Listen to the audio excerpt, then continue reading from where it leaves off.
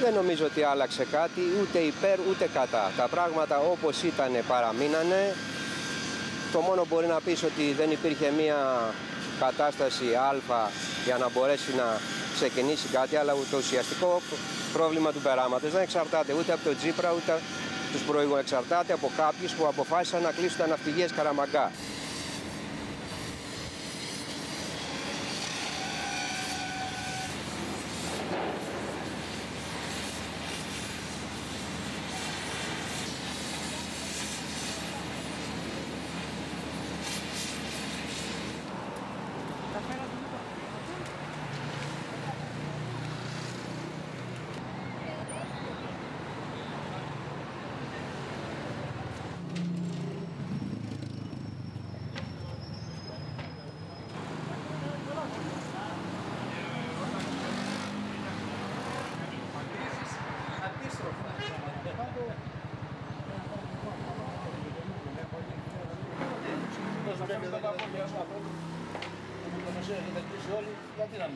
Δεν προσλάβει για να δουλέψω, για να φτάσω τα χίλια, τα, χι- στα 13 χρόνια.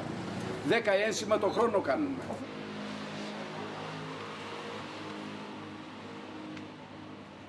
Πίστευα ότι θα κάνει κάτι καλύτερο.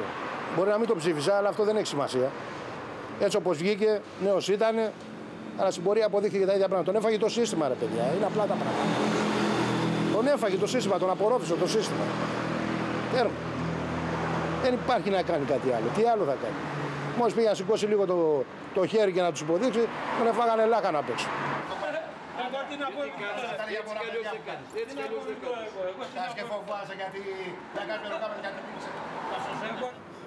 Δεν μπορούμε να εκφράσουμε κάποια γνώμη 100% για αυτό ακόμα. Αυτά που λέει αυτός, να δούμε τι θα κάνει. Θα φέρουν τα κλεμμένα πίσω, θα κλείσουν τους απατεώνες μέσα, θα ανοίξουν τα ναυπηγεία τους Σκαραμαγκά, θα ανοίξει εδώ που φύγαν όλα τα βαπόρια, η ζώνη του περάματος.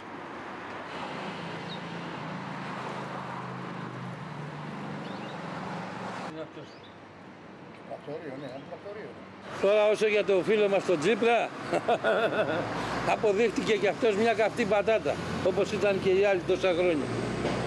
Τώρα όσο για την Κυριακή τι θα ψηφίσω, κρεβάτι. Θα τα απολαύσω.